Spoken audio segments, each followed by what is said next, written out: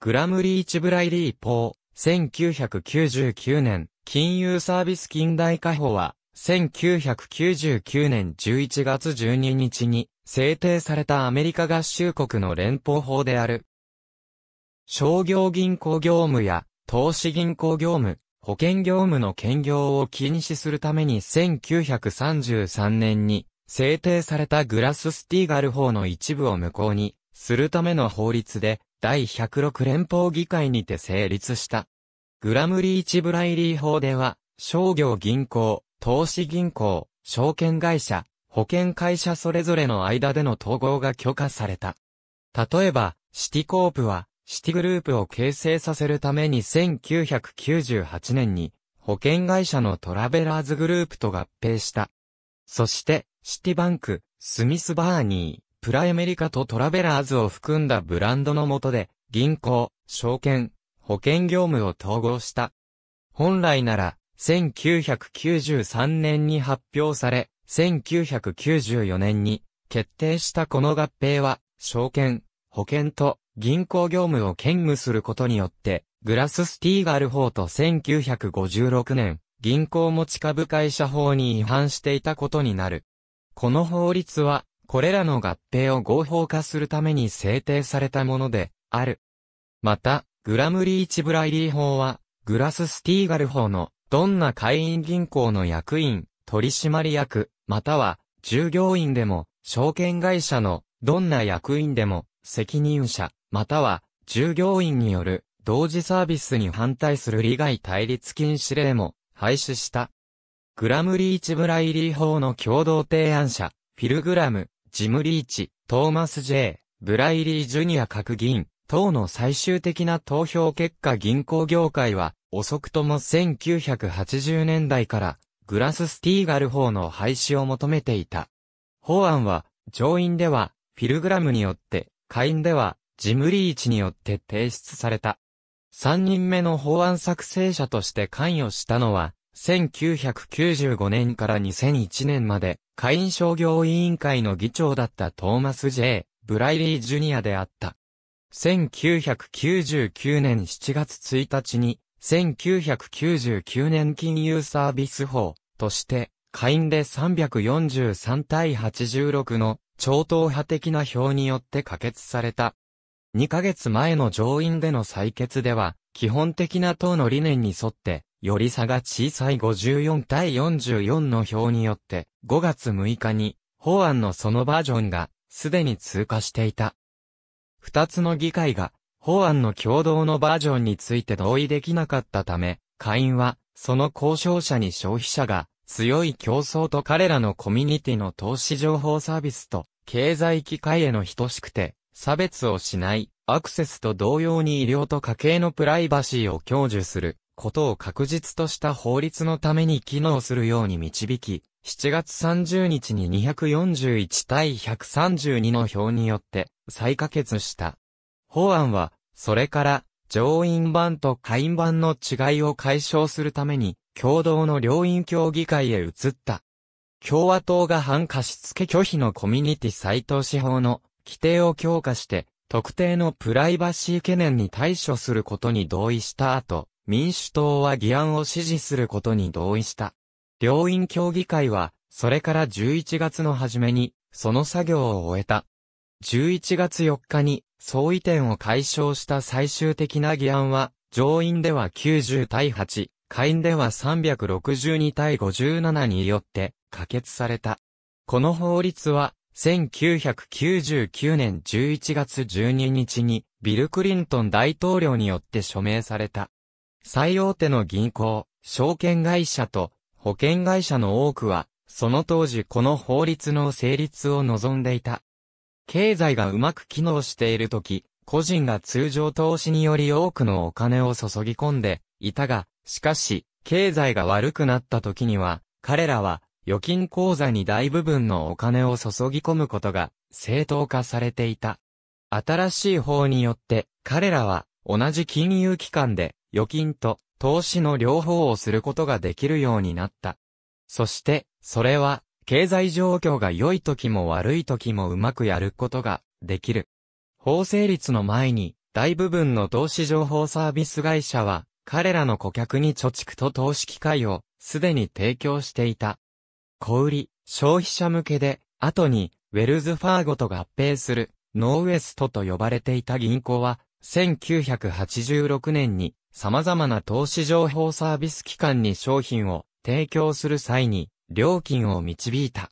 アメリカンエキスプレスは、金融のほとんどあらゆる分野を所有しようとした。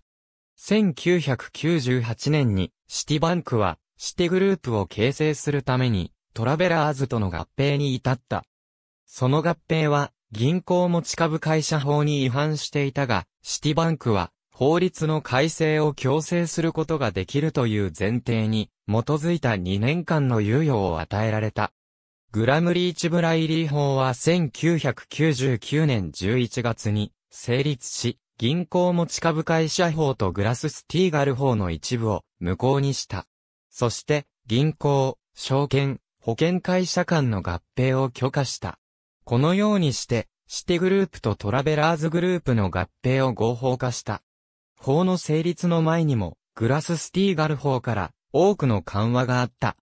例えば、成立の2、3年前に、商業銀行は投資銀行に入ることが許可されており、それ以前には、銀行が株式と保険仲介に参入することも許可されていた。保険引受業務は彼らがすることが許されなかった唯一の主要な活動であった。そして、法の通過の後さえ、滅多に銀行によってされなかった。それ以来、多くの合併は、投資情報サービス産業で生じたが、いくつかが期待されていたスケールではなかった。彼らが他の保険会社の商品を売ることによって、保険仲介のより有益なビジネスに従事しようとして、小売銀行は、例えば、保険引受業者を買収する傾向がない。他の小売銀行は、市場投資と保険商品に時間がかかって、それらの製品を納得のいく方向でまとめる。彼らは、大きな視点と裏の店足跡を持たないので、証券会社は、銀行業務に入るのに苦労した。銀行は最近他の銀行を買収する傾向があった。それでも、それらは、投資銀行と保険会社との合併より成功が少なかった。多くの銀行は、スミスバーニーにおいて、スキャンダルを引き起こしたような、疑わしい抱き合わせ販売に向かうことなく、投資銀行業務を拡大したが、彼らの銀行業務でそれを一元化することは、難しいと分かった。この法律が合併があるとしても、金融持ち株会社制度よりうまくいかないかもしれないと述べて、グラムリーチブライリー法に組み込まれる改正和法を可決することにとって重要だった。すなわち、系列会社は、それが原因で、その後最近の CRA 試験で少しも満足でない評価を受けた。そして、基本的にどんな合併でもコミュニティ再投資法に対して責任がある調整体の厳しい承認を進めるだけかもしれないことを意味した。これは扱いにくい主張の問題であった。そして、クリントン政権は、それが少数貸出し条件を縮小する、どんな法律でも拒否すると強調した。グラムリーチブライリー法も、金融機関が非金融会社を所有することを防止した1956年、銀行持ち株会社法によって置かれる銀行に対する規制を取り払わなかった。それは逆に銀行、または金融業以外の企業が小売り及び、または商業的な銀行業務に参入することから禁止することになる。多くの人は最終的にその工業銀行を商業、小売銀行に改造したいというウォルマートの願望が、銀行業を GLB 規制から後退させるようにしたと思っている。いくつかの規制は、企業を投資銀行業務と商業銀行業務の間で若干の分離を残した。例えば、公認の銀行家は別々の名刺を持っていなければならない。金融のプライバシーについての議論の多くは、特に会社の銀行、証券業務と保険部門とが一緒に働くことを許すか、防ぐかに集中している。コンプライアンスに関して、法の下の鍵となる規則は、金融機関によって顧客の個人の財務情報の収集と公開を決定する金融プライバシールールを含む。それは、その企業が金融機関であるかどうかに関係なく当てはまる。そして、その人は、そのような情報を受ける。セーフガードルールは、顧客情報を保護するためにセーフガードを設計し、実装して維持することをすべての金融機関に要求する。セーフガードルールは彼ら自身の顧客から情報を集める金融機関にだけでなく他の金融機関から顧客情報を受け取る金融機関にも当てはまる。グラムリーチブライリー法は金融機関を個人に金融商品またはサービスを提供する会社と定義している。連邦取引委員会には以下のような金融機関、及びそれに類似するものに対する司法権がある。これらの会社も金融機関と定義する投資情報サービス、または商品にかなり携わっていることが考慮されなければならない。グラムリーチブライリー法の第731節には、公利貸し制限がアーカンソー州憲法によって連邦準備制度の肯定部合を上回って5%に設定されて、アーカンソー州議会によって変えることができなかったアーカンソー州を狙う独特の供給を含む。通貨監査局長官が Riegle-Neal Interstate Banking Branching Efficiency Act of 1994の下で設立される州間銀行が最小の規制で全国的にすべての支店のために彼らの本部の州の高利貸し法を使うことができると決定したとき、アーカンソー州に拠点を置く銀行は、州間銀行のアーカンソー支店よりひどい競争的不利に置かれた。これは、1998年にリージョンズ、フィナンシャルによる、ファーストコマーシャル銀行の買収を含むいくつかの、アーカンソー州の銀行の例外乗っ取りに至った。第731節の下で、その法律によって適用される州に本部を置くすべての銀行は、覆われた国の支店がある、州間銀行への本部であるどんな州でも最も高い、高利貸し制限まで課金するかもしれない。したがって、アーカンソーには、アラバマ、ジョージア、ミシシッピ、ミズーリ、ノースカロライナ、オハイオ、テキサスの各州に拠点を置く銀行の支店がある時から、それらの州のどれの高利貸し法によってでも合法的で、あるどんなローンでも第731節の下で、アーカンソーに拠点を置く銀行によって設けられるかもしれない。第731節は覆われた国の支店で州の間の銀行に申し込まなくて、どこか他のところの本部を置いた。しかし、アーベスト銀行のようなアーカンソーに拠点を置く、週刊銀行は、彼らの第731節制限を他の州に輸出するかもしれない。第731節により、通常、アーカンソーに拠点を置く銀行には現在、クレジットカードのために、または18%の制限で、または、より他のすべてのローンの上で、2000ドルを超えるにはそれらのローンに対する制限がない時からの少しの融資のためにも小売貸し制限がないとみなされている。しかし、一旦ウェルズファーゴが完全に、センチュリー銀行のその提案された買収を完了するならば、ウェルズファーゴの主力銀行憲章が、サウスダコタに拠点を置くときから、第731節は、アーカンソーに拠点を置く銀行のために、すべての高利貸し制限を廃止するだろう。そして、その高利貸し法は何年も前に廃止された。アーカンソー州のために設計されたが、第731節は、憲法が制限を、同じ基本的な氷菓子に提供するアラスカ州とカリフォルニア州にも当てはまるかもしれない。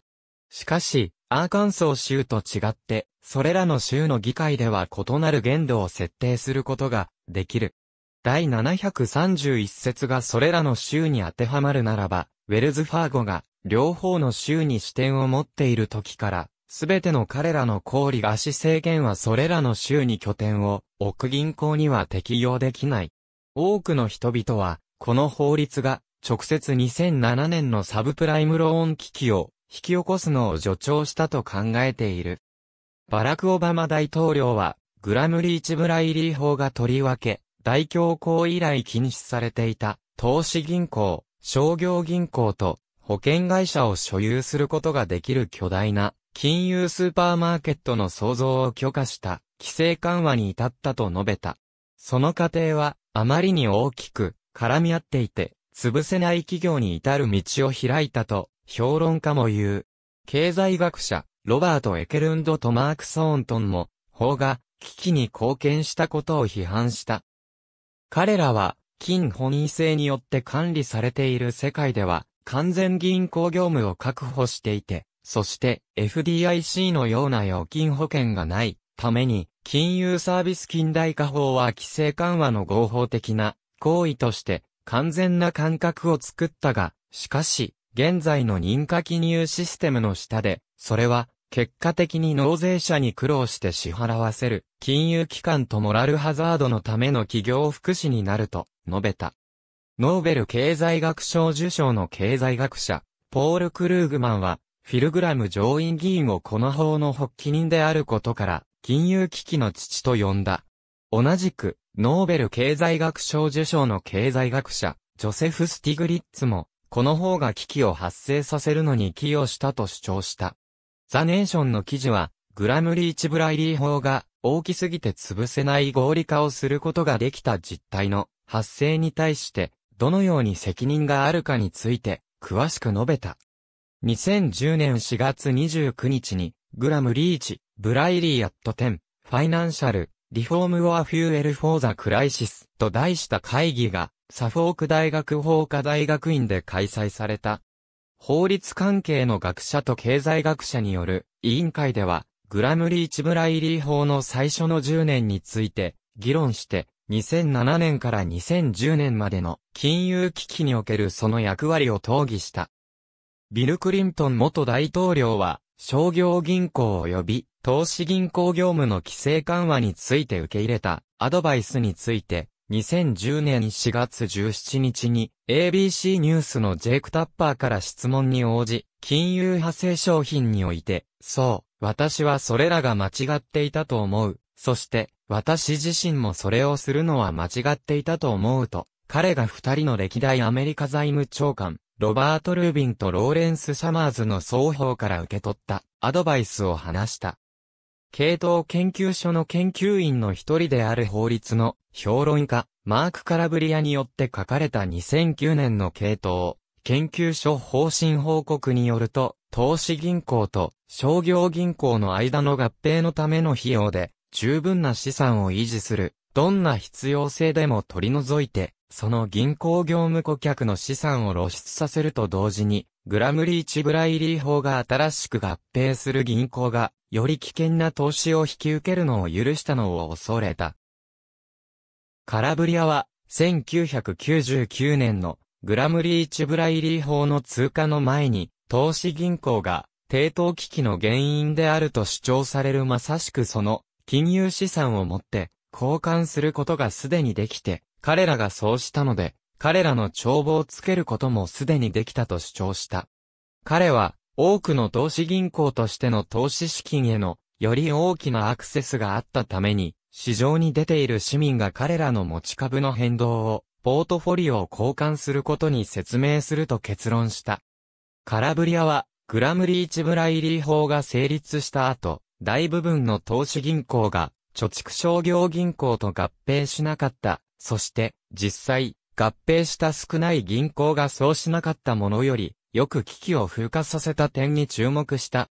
クリントンは、彼の在任期間の間、彼が、グラス・スティーガル法を覆す、法案に署名して、銀行業務を、規制撤廃するという決定を後悔しているかどうか2008年に、尋ねられたとき、クリントンは次のように答えた。2009年2月に、法の協調者のうちの一人、フィルグラム前上院議員も、また、彼の法案の正当性を主張した。カリフォルニア大学バークレー校の経済学者、ブラッド・デ・ロングとバージニアのジョージ・メイソン大学のタイラー・コーエンの両者は、グラムリーチ・ブライリー法が危機の影響を和らげたと主張した。アトランティック・マンスリーのコラムニスト、ミーガン・マカードルはそれについて、法律が問題の一部であるならば、困っていたのは、商業銀行であり、投資銀行ではない。そして、法律の廃止は状況を助けなかっただろうと論じた。保守的な出版物、ナショナルレビューの記事も、法についてのリベラルの主張を、身内の経済学と呼んで、同じ主張をした。アメリカ合衆国の経済誌に、グラムリーチブライリー法を位置づける、法文資料。ありがとうございます。